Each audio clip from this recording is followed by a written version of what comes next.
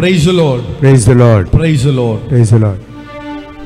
என் அன்பு சகோதர சகோதரிகளே ஒரு முறை கடவுள் தன்னுடைய மூன்று தூதர்களை அழைத்து இப்படியாக சொன்னாராம் நீங்க மண்ணுலகத்திற்கு சென்று மண்ணுலகத்தில் மிகவும் விலை உயர்ந்த ஒரு பொருளை என்னிடம் கொண்டு வாருங்க ரொம்ப வேள்வியான ஒரு பொருளை என்னிடம் கொண்டு வாருங்கள் என்று சொன்னாராம்.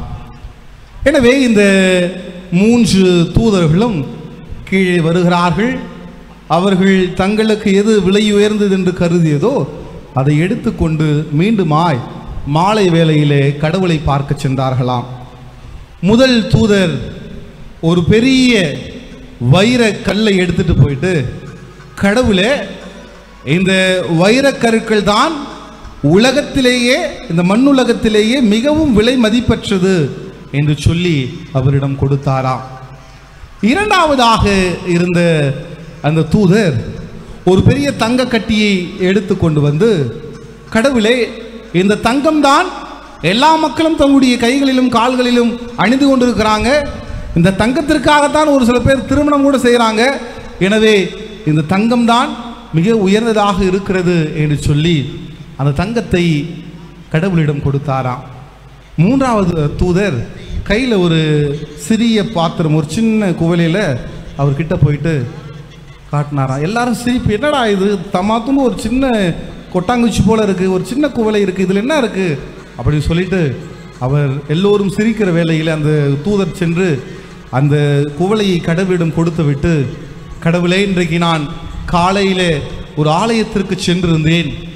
அந்த ஆலயத்தில் பல்வேறு கஷ்டங்களினாலும் பல்வேறு மனபாரத்தோடு இருந்த ஒருவர் உம்மை மறுதளிக்காமல் நம்பிக்கையோடு தொடர்ந்து உன்னிடம் ஜெபித்து கொண்டே இருந்தார். அவர் ஜெபிக்கிற வேலையில் உம்மீடு இருக்கிற அந்த நம்பிக்கையில் அவர் கண்களில் இருந்து கண்ணீர் வருவதை என்னால் பார்க்க முடிந்தது. எனவே பக்கத்தில் இருந்த ஒரு சின்ன குவலையில் அவருடைய கண்ணீரை சேகரித்து வந்திருக்கிறேன். இந்தாங்க இதுதான் உலகத்திலேயே மிகவும் விலை மதிப்பற்ற ஒரு பொருள் என்று சொல்லி கடவுளிடம் கொடுக்க கடவுள் அந்த தூதரை கட்டி அணைத்து கொண்டு உண்மையாலுமே யார் ஒருவன் மனம் உவந்து தன்னுடைய மனபாரங்களை எல்லாம் ஆண்டவரிடம் சொல்லி அழுது ஜெபிக்கிறானோ நம்பிக்கையோடு அவனுடைய கண்ணீர் தான் மிக உயர்ந்தது என்று சொல்லி அந்த தூதரை கட்டிப்பிடித்து அவருக்கு முக்தம் கொடுத்தாராம் எனக்கு பிரியமான என் அன்பு சகோதர சகோதரிகளை த வேல்யூ ஆஃப் டியர்ஸ் ஒரு கண்ணீருடைய மதிப்பு என்பது இந்த உலகத்தில் இருக்கிற எந்த ஒரு பொருளுக்கும் ஈடு இணையற்றது என்று சொல்லி கடவுளும் சொல்லுகிறார். எனக்கு பிரியமானவர்களே கண்ணீரோடு கடவுளை நோக்கி ஜெபிக்கிறருடைய வாழ்க்கையில அதிசயங்களும் அற்புதங்களும் நடக்கிறது. இதுதான் நமக்கு வேதம் சொல்லி கொடுக்கிற ஒரு சத்தியம். இன்றைக்கு பாருங்க இன்றைக்கு வாசித்த இந்த முதல் வாசகம். இரண்டு பேருடைய ஜெபம் கண்ணீர் விட்டு அழுது ஜெபிக்கிற ஜெபம் நமக்கு கொடுக்கப்பட்டிருக்கிறது. ஒன்று தோபித்து. தோபித்து ஒரு வசதியான ஒரு நபர். அவருக்கு தோபியா என்கின்ற ஒரு மகன் இருக்கிறார். ஒரு முறை தோபித்து அவர்கள் படுத்து உறங்கிக் கொண்டிருக்கிற வேளையில் மேலே இருக்கிற ஒரு புறா அதனுடைய எச்சத்தை அவருடைய கண் மேலே போட்டு விடுகிறது. எனவே வெள்ளை புள்ளி அவர் கண் முழுவதும் பரவுகிறது. எனவே அவரால் பார்க்க முடியவில்லை. இது ஒரு புறம் இருக்க. ஒரு புறத்திலே சாரா. சாரா என்கின்ற ஒரு அழகிய பெண். அந்த பெண்ணுடைய அப்பாவுடைய பெயர் ரகுவேல். சாராவுக்கு ஏறக்குறைய ஏழு திருமணங்கள் நடந்து ஏழு திருமணம் பாழாய் போய்விட்டது. ஏழு பேரும் இறந்துட்டாங்க. காரணம் என்னன்னா அசுமதேயு என்கின்ற ஒரு தீய ஆவி அந்த பெண்ணை பிடித்திருந்தது. எனவே அவள் முதலில் மனம் செய்கிறாள் அந்த கணவன் இறந்து விடுகிறான். எனவே அதற்கு பின்பாக அதற்கு பின்பாக என்று இன்னைக்கு நம்ம வேதத்தில் வாசித்தோமே இன்றைக்கு நற்செய்தி பகுதியில் மார்க் நற்செய்தி பன்னிரெண்டாம் அதிகாரம் பதினெட்டிலிருந்து இருபத்தி ஏழில் இந்த சதுசேயர்கள் ஆண்டவர் இயேசு கிறிஸ்துவிடம் கேள்வி கேட்க பயன்படுத்திய ஒரு பெண்ணுன் நம்ம சாரா தான். எனவே சாராவும் கூட இந்த ஏழு பேருக்கு திருமணம் செய்து எல்லோரும் இறந்து விடுகிறார்கள். காரணம் தீய ஆவி அவளை பிடித்திருந்தது. பாருங்க ஒரு புறம் கண் தெரியாமல் இருக்கிற ஒரு நபர். மறுபுறம் தீய ஆவி பிடித்து மனம் செய்ய முடியாமல் இருக்கிற ஒ- ஒரு பெண். எனவே இங்க பாருங்க ரெண்டு பேருடைய வாழ்க்கையிலும் எவ்வளவு விதமான துன்பங்கள். இந்த பக்கத்துல அவருடைய மனைவி தோபி தோபியத்தை பார்த்து என்ன உன்னுடைய கடவுள்? அவரெல்லாம் சக்தி வாய்ந்தவரா? ஏன் அவரிடம் நம்பிக்கை கொண்டிருக்கிறேன்? என்று சொல்லி கேட்கிறார். கண் பார்வை இல்லாமல் வேதம் சொல்லுகிறது தோபித்து ஒன்றாம் அதிகாரம் ஏழாம் வசனத்தில் தோபித்து அவர்கள் நீதியோடு இருந்தார். அவர் கடவுளுடைய பார்வையில் நீதியானவராக இருந்தார் என்று வேதம் சொல்லுகிறது. இருந்தாலும் கூட அவருடைய வாழ்க்கையில் இது போன்ற ஒரு மாபெரும் துயரம். இந்த பக்கம் சாராவுடைய வாழ்க்கையில சாரா மேலே சென்று தன்னுடைய அறையிலே தூக்கு போட்டுக் கொள்வதற்காக மேலே செல்கிறார். வாழ்க்கையை அவர் வெறுத்து விடுகிறார். கூட இருக்கிறவங்க எல்லாரும் இவெல்லாம் ஒரு பொண்ணா? என்று சொல்லி அவரை பழித்துரைக்கிறார்கள். யாரை கட்டினாலும் செத்துறாங்களே நீ எல்லாம் இன்னத்துக்கு வாழற? என்று சொல்லி சமூகத்தினாலே அந்த பெண் அலக்கழிக்கப்படுகிறார் அவமானப்படுத்தப்படுகிறார். எனவே அவள் கடைசியில் ஒரு முடிவு எடுக்கிறார் நான் எப்படியாவது இறந்து விட வேண்டும் என்று சொல்லி மேலே போகிறார். அப்பொழுது நினைக்கிறார் நான் ஏன் இறக்க வேண்டும்? நான் இறந்தார் என்னுடைய தந்தைக்கு அவமானம் என்று சொல்லி அவர் அந்த நேரத்திலே ஒரு சரியான முடிவை எடுக்கிறார். ஒரு சரியான முடிவை எடுக்கிறார். அதுதான் அந்த பழக்கணையிலே தன்னுடைய வீட்டினுடைய மேலே முழந்தால் படியிட்டு கண்ணீர் விட்டு ஜெபிக்கிறார். சாரா கண்ணீர் விட்டு ஜெபிக்கிறார். தன்னுடைய அவமானத்திலிருந்து தன்னுடைய தீய ஆவியிலிருந்து விடுபட வேண்டும் என்பதற்காக அங்கே வீட்டினுடைய மேலே அவள் கண்ணீர் விட்டு ஜெபிக்கிறார்.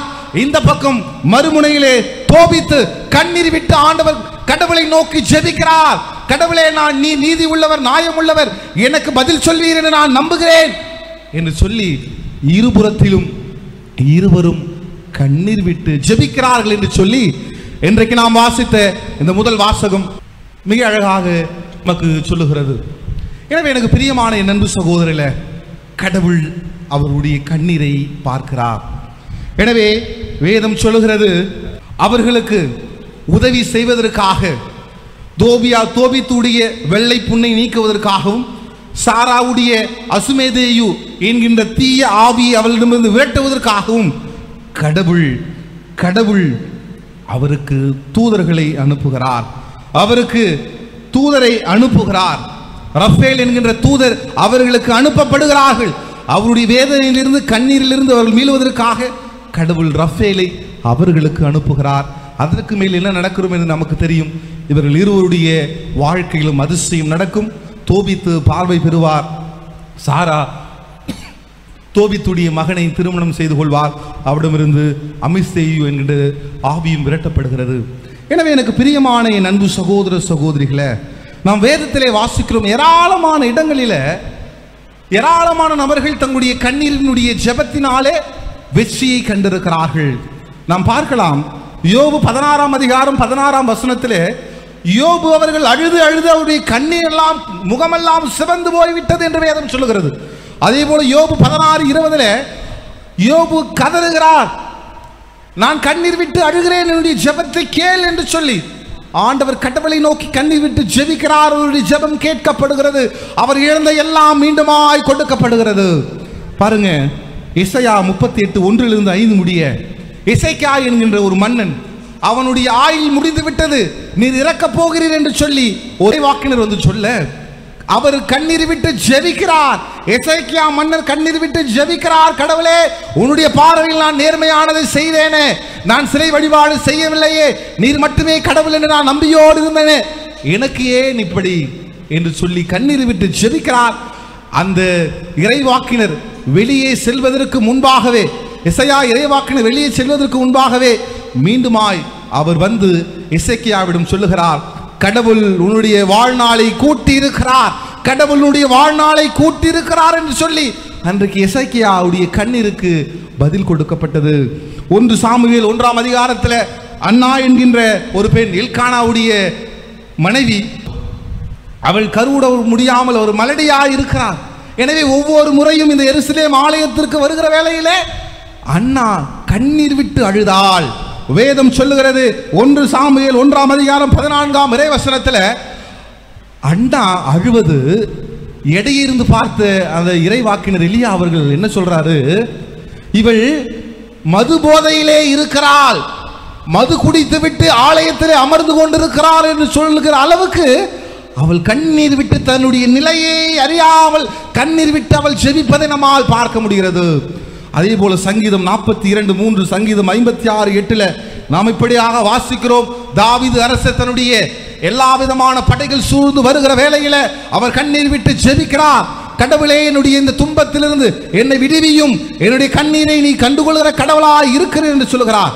எனவேதான் திருப்பாடல் ஐம்பத்தி ஆறு எட்டுல ஒன்பது வசனங்களே சொல்லுகிறார். ஐம்பத்தி ஆறாவது திருப்பாடல் எட்டு ஒன்பதுல என் துன்பங்களின் கண்ணீரை நீர் அறிந்தீர். உமது தோற்பையிலின் கண்ணீரை சேகரித்து வைத்துள்ளீர். இவையெல்லாம் உம் குறிப்பேட்டில் எழுதியுள்ளீர். எனக்கு பதில் கொடுப்பீர் என்று சொல்லி அவர் சொல்லுகிறார். எனவே கண்ணிற்கு எப்பொழுதுமே மதிப்பு இருக்கிறது. அவருடைய தேவைகள் அவருடைய வேண்டல்கள் நிறைவேற்றி கொடுக்கப்படுகிறது. எனக்கு பிரியமான நண்பு அன்பு சகோதர சகோதரிகளை விடுதலை பயணம் இரண்டாவது அதிகாரம் இருபத்தி மூன்றிலிருந்து இருபத்தி ஐந்து முடிய கடவுள் சொல்லுகிறார் அவர்கள் புலம்புவதை என் காதுகளால் நான் கேட்கிறேன். மக்கள் புலம்புவதை அவர்கள் அழுகுரலை என் காதுகளால் கேட்கிறேன் என்று சொல்லி இஸ்ராயல் மக்கள் எகிப்தில நானூற்று முப்பது ஆண்டு கால அடிமையிலே இருக்கிற வேளையிலே அவர்கள் உடைய கழுகுரல் கடவுள் கேட்கிறார் என்று சொல்லுகிறார். விடுதலை பயணம் இரண்டு இருபத்தி ஐந்திலே சொல்லுகிறார் அவர்களுடைய கண்ணீரை நான் காண்கிறேன். அவர்களுடைய கண்ணீரை நான் பார்த்து கொண்டிருக்கிறேன். எனவே நீ சென்று என்னுடைய மக்களை விடுதலை செய்து கொண்டு வா என்று சொல்லி மோசேவுக்கு ஆண்டவர் கடவுள் அழைப்பு விடுக்கிறார். விடுதலை பயணம் இரண்டாவது அதிகாரம் இருபத்தி ஆறிலே அவர் சொல்லுகிறார் அவருடைய நிலைமையை நான் அறிந்திருக்கிறேன். அவர்கள் எந்த நிலைமையில் இப்ப இருக்கிறாங்க? அவர்கள் எப்படிப்பட்ட துன்பத்தை அனுபவித்துக் கொண்டிருக்கிறார்கள்? அவருடைய கஷ்டங்கள் என்ன? அவருடைய நஷ்டங்கள் என்ன? அவருடைய தடைகள் என்ன? என்று சொல்லி எனக்கு தெரியும் என்று சொல்லி காண்டும் கடவுள் நமக்கு சொல்லுகிறார். எனவே எனக்கு பிரியமான என் அன்பு சகோதர சகோதரிகளே இன்றைக்கு நமக்கு கொடுக்கப்படுகிற ஒரே செய்தி நம்முடைய வேண்டல்களையும் தேவைகளையும் நம்பிக்கோடு கடவுள் திருமுன் அழுது முழந்தால் படியிட்டு அழுது ஜெபிக்கிற வேலையிலே கடவுள் கண்டிப்பாய் நமக்கு அதிசயங்களை செய்வார். கடவுள் கண்டிப்பாய் நம்முடைய வாழ்க்கையில மாற்றங்களை செய்வார்.